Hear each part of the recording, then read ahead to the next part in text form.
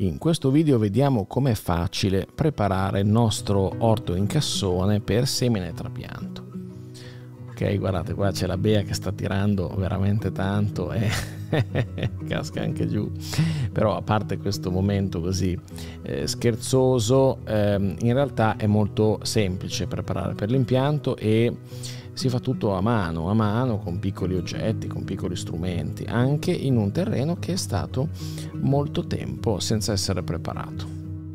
Ma prima di tutto facciamo un passo indietro perché preparare il cassone per il trapianto, in questo caso, è importante, no? Ma eh, che senso ha se non c'è qualche cosa da trapiantare? E quindi andiamo subito a comprare le piantine.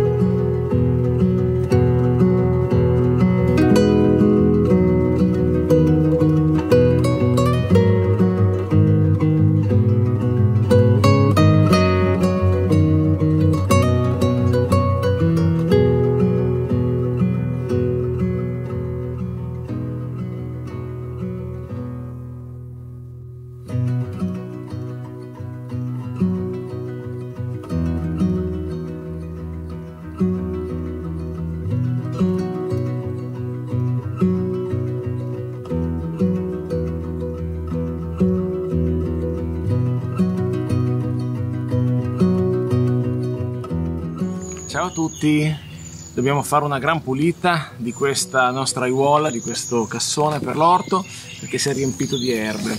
È un po' tardi nella stagione, andava pulito prima e sarebbe stato più semplice, ma abbiamo avuto altro da fare non è ancora pronto, però lo stiamo facendo adesso l'orto. E quindi via tutto. Là ci sono una salvia ananas e quello non mi ricordo cos'è, credo un timo, e che sono cresciuti a dismisura e vanno limitati perché servono solo una, due foglie ogni tanto, quindi non abbiamo bisogno di un cespuglio così grande. E per il resto però stiamo lasciando questi bei fiorellini, sono dei bulbi che fanno dei fiori. Basta, al lavoro!